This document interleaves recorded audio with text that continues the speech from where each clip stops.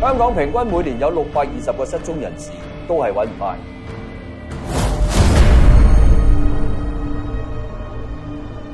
呢几年我摆咗卧底喺一个极有可能系走私集团里面，我好有信心，短期内会锁定目标。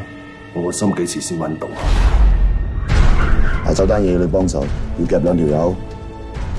越讲越似只癫狗，我攞一个人条命。